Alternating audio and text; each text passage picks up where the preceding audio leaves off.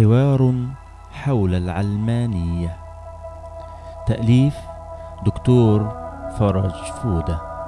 ألف شرطة أربعة الجيش السري الإعلامي. عندما تحدد شهر مايو 1985 لمناقشة قوانين الشريعة فوجئ المصريون في شهر يناير وفبراير من نفس العام وخلال هذين الشهرين فقط بما يمكن أن يكون حملة إعلامية منظمة. استغلت جميع ما حدث من قضايا أو حوادث خلال هذين الشهرين في الدعوة والتمهيد لتطبيق الشريعة الإسلامية وأوجز بعض الأمثلة على ذلك فيما يلي. اعتدى ستة شبان على فتاة تواجدت مع خطيبها في سيارة في أحد الشوارع المهجورة في المعادي وقد أثبت الطبيب الشرعي فيما بعد أنها عذراء. قد ركزت الصحف على هذه القضية وركزت في عرضها للحوادث أو لجلسات المحاكمة على الدعوة لتطبيق حدي الزنا أو الحرابة. ولم يخلو أي مقال أو موضوع كتب عن الحادث من رأي ديني أو فتوى لرجل من رجال الدين. وقد نجح ذلك في التأثير على الحكم الأمر الذي اعترف به القاضي حين صرح للصحف بأنه لم يكن من الممكن تجاهل الرأي العام في القضية وحكم على خمسة شبان من الستة بالإعدام ولكن الأهم من التأثير على الحكم ذلك التأثير الذي كان موجها للرأي العام. حاملا مضمونا فحواه أن القوانين الوضعية لم تعد صالحة لحماية الأعراض وأن البديل ممثل في تطبيق الشريعة. قتل شاب مريض نفسيا وهذا ثابت والديه. واستغل الإعلام ذلك بادعاء أن الشاب قد تأثر بالمذاهب الوجودية الهدامة وأن إلحاده هو السبب.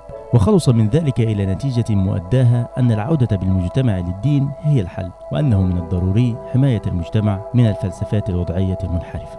استغل الإعلام حادث انتحار فتاة مغربية في منزل ملحن مشهور في الإيحاء بأن مصر أصبحت مرتعا للسكارى وتحولت إلى ماخور كبير تدور فيه الفاتنات العاريات بكؤوس الراح على الشاربين وكان المضمون الذي وصل إلى القراء كرسالة إعلامية واضحة هو ضرورة تطبيق حد شرب الخمر وضرورة إقامة المجتمع الإسلامي المثالي. حكمت قصة ألف ليلة وليلة الشهيرة بحجة الخلاعة والأفراض الخارجة رغم أنها موجودة منذ مئات السنين دون استنكار أو إدانة. وبدلا من أن يواجهوا الإعلام هذه المحرقة الفكرية سندوها بأقلام كبار الكتاب وبدأ صوت المعارضين باهتا وكان الهدف هو التوصل إلى الحكم على الفكر والأدب والفن من منطلق ديني وهو منطق شديد الخطورة لكنه يعتبر تمهيدا لما يتوجه له المجتمع أو يتم توجيهه إليه. أعيدت مناقشة قضية البهائية للمرة الثالثة المرة الأولى في أوائل الستينات والثانية في أوائل السبعينات. وبعد أن نوقشت القضية في المرتين السابقتين على أنها قضية مذهب إسلامي منحرف نوقشت هذه المرة على حقيقتها وهي أنها قضية دين جديد. ولم تناقش القضية في وسائل الإعلام على أساس فكري أو قانوني بل نوقشت بمفاهيم دينية أساسا وبتوجه واضح إلى ضرورة تطبيق حد الردة. ركز الإعلام على مناقشة قضية ما سمي بالنبي المزعوم برقع تلك القضية التي يخرج المتابع لها بانطباع مؤداه أنها قضية خلقية أو شخصية لكن الإعلام عرضها من خلال مفهوم آخر وهو مفهوم مضمونه أن المجتمع العلماني المصري يسمح في ظل القوانين الوضعية بظهور الديانات والأنبياء وأن غياب حد الردة هو السبب في ذلك. ومن الممكن سرد أمثلة أخرى عديدة لمفردات الحملة الإعلامية الشرعية التي شنها الإعلام. في اتجاهه للتمهيد لتطبيق الشريعة الإسلامية وهو الأمر الذي يطرح فزورة يصعب حلها ومضمونه كالتالي. الدولة لا ترى ضرورة تطبيق الشريعة الإسلامية الآن. الإعلام يتبع الدولة الإعلام يشن حملة باتجاه تطبيق الشريعة الإسلامية الآن ولا يحل هذه الفزورة إلا جواب واحد وهو أن هناك جيشا إعلاميا سريا يسعى لتطبيق الشريعة الإسلامية ويتجاوز مصالح المسيطرين على الإعلام إلى مصالح أخرى يمكن بحثها أو البحث حولها في مجال آخر. ألف شرطة خمسة الإعلام والأمن. تبرر القيادات الإعلامية تدخل الأمن. فيما يتعلق بنشر الموضوعات الخاصة بهذه القضية أو إذاعة البرامج المواجهة للتطرف بأنه من الضروري التنسيق بين الاعتبارات السياسية والأمنية فيما يتعلق بظاهرة لها وجهها السياسي والأمني. وبصرف النظر عن مدى صحة هذا المنطق فإن الأمر يتجاوز مجرد التنسيق في كثير من الأحيان. الأمر الذي يترتب عليه غلبة المنطق الأمني على المنطق السياسي ويأتي بنتائج عكسية والأمثلة على ذلك كثيرة وأغلبها يتعلق بنشر الأخبار المتعلقة بهذه الظاهرة.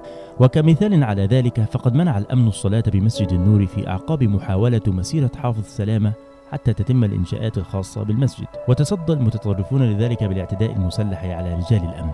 واستخدموا في اعتدائهم السلاح الأبيض وترتب على ذلك إصابات في الطرفين وقبض على بعض المتطرفين وقد نشرت جميع وكالات الأنباء العالمية هذا الخبر. ومنع نشره في مصر بتعليمات أمنية وهو أمر لا يبدو مفهوما. فلا الأخبار يمكن حجبها في عالم مفتوح ولا النشر ضار بل مفيد إلى أقصى درجات الإفادة. وقد صرح الأمن بعد ذلك بنشر الخبر وفي الوقت بين عدم السماح والسماح يمكن تصور التأثير الضار للتدخل الأمني في مجال الإعلام. ألف شرطة ستة. الشراك الإعلامية. يحلو لكثير من القيادات الإعلامية والفكرية أن تبدأ مقالاتها بعبارات من نوع لا يختلف أحد حول تطبيق الشريعة الإسلامية. لقد أعطى الشعب كلمته وأعطت الحكومة وعدها وأبدت أحزاب المعارضة تأييدها تلك قضية منتهية لا خلاف عليها. ولكن وآه من لكن هذه وآه مما يتلوها عادة من عبارات تناقض العبارات السابقة أشد التناقض. وتخالفها أشد المخالفة بل قد ينتهي المقال برفض تطبيق الشريعة تحت مسميات أهونها التدرج وأقصاها توجه الكاتب للمتطرفين بتساؤلات من نوع قولوا لنا أولا ماذا تريدون؟ وكأنه لم يسمع منهم قولا أو يسمع عنهم قتلا. ويتصور الكاتب والمفكر أنه قد نصب شركا محكما لهم بدأه بإعداد الطعم بضم الطاء وسكون العين ممثلا في العبارات التي بدأ بها المقال وهو طعم يسهل في تصوره أن يبتلعه المتطرفون ثم يفاجؤون باستدراجهم في نهاية المقال إلى نتيجة عكسية. والحقيقة التي لا شك فيها ولا مراء أن الشرك منصوب للقراء وأن الجريدة اليومية التي توزع مليون نسخة وبالتالي يقرأها خمسة ملايين قارئ. قد نصبت بفضل الكاتب أو المفكر الكبير شركا لهذه الملايين. والسبب في ذلك أنه ليس في هذه القضايا الحساسة والمصيرية لكن تماما كما تقول المسرحية المشهورة ليس في القانون زينب. فإما أن تكون مع وإما أن تكون ضد. وما دمت بدأت القول بأن قضية الشريعة محسومة وأنها محل اتفاق عام فإن أي قول بعد ذلك لا يجدي وأي لكن لا يؤمن بالعبارات التي ذكرها والتي يكررها أمام عيون القراء يوما بعد يوم وكأنها مقرر إعلامي. والمؤكد أيضا أن ما ذكره للأسف ليس صحيحا فالقضية لم تكن يوما قضية سياسية محل اتفاق عام والحكومة لم تكن يوما صادقة حين وعدت بتطبيق الشريعة وإنما أعلنت ما أعلنت عن يقين بأن كل شيء في مصر ينسى بعد حين. والأحزاب لم ترفع يوما من الشعارات اقتنعت به. وإنما رفعت ما تزايد به على الحكومة ربما عن عدم إدراك لمخاطر التطرف الديني وربما عن إدراك وسعي في ذات الوقت لأن تحصد الحكومة ما جنت يداها. إن المثال السابق ليس رأيا لكاتب أو فقرة من مقال مفكر ولو كان كذلك ما استحق مني الذكر أو التعليق. وإنما هو نغمة سادت الإعلام المصري وأسلوب أدمنه كبار الكتاب وعمامة يصرون على وضعها على رأس دافع الضرائب وأقصد الشعب وحجرا ثقيلا يلقونه على رأس دافع المرتبات مرتباتهم وأقصد الحكومة. باء الديمقراطية بين السماح والمناخ. من الصعب أن يقتنع الرأي العام بالمصري. بخطأ ممارسات التيار السياسي الديني المتطرف.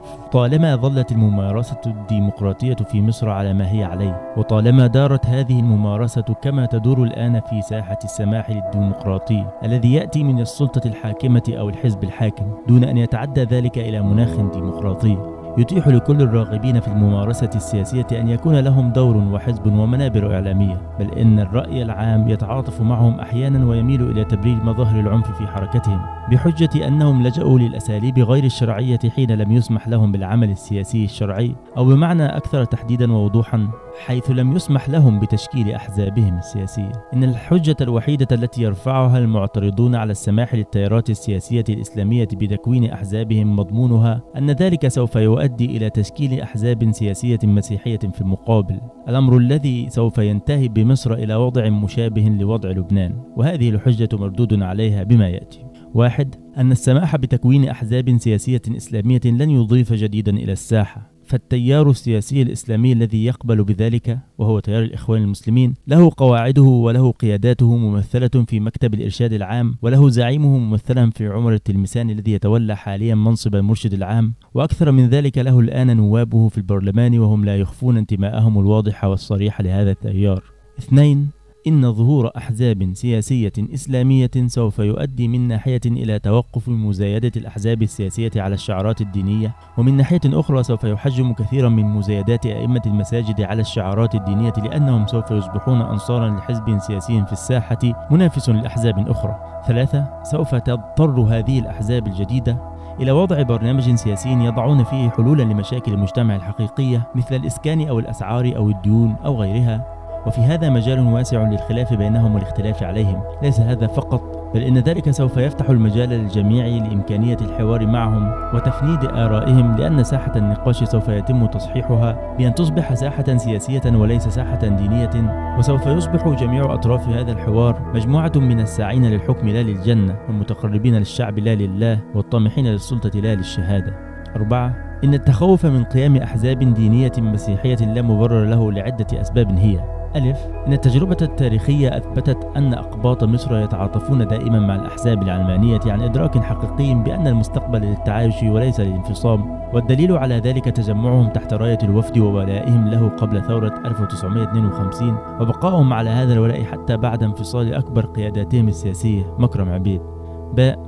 إن تجربة إقامة حزب مسيحي ديني له سابقة في التاريخ المصري. تمثلت في حزب مصر الذي أنشأه أخنوخ فانوس ولم ينضم له إلا قلة محدودة. وانتهى بعد سنوات في صمت كما ظهر دون أن يكون له تأثير على مسار الحياة السياسية في مصر ودون أن يؤثر سلبا على مناخ الوحدة الوطنية فيها. إنني أؤكد على أن الوضع الحالي المتمثل في السماح الديمقراطي وتحجيم حرية تكوين الأحزاب وقصر التجربة الحزبية على ما هو قائم له تأثير سلبي خطير على واقع التطرف السياسي الديني في مصر. خاصة وأنه لا يقتصر على تحجيم دور هذا التيار في التواجد السياسي بل يمتد أيضا إلى تحجيم الأحزاب العلمانية سواء اليسارية منها أو الليبرالية. جيم؟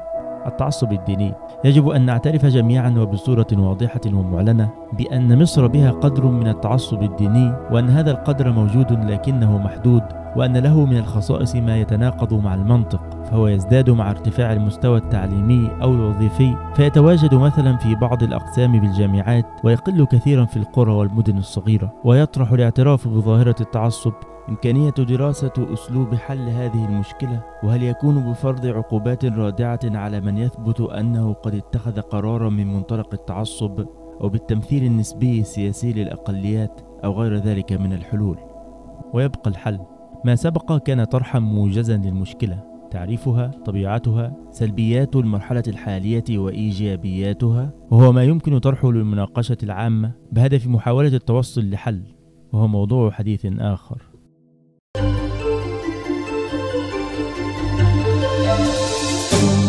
هذا السؤال. هل تم تحريم التبني من أجل أن يعني يعني انت انت أنت ترى الحركة المدنية الآن أو العلمانيه لسه قدامها مرحلة حتى تصل. هي اللا قيمة. إذا القيمة بنت فرز. ولكن كما سمعنا الحلقة اللي فاتت من العالم الجليل نيل ديجرايس تايسون سأشير في هذا البرنامج إلى بعض الدراسات التي تناولت علم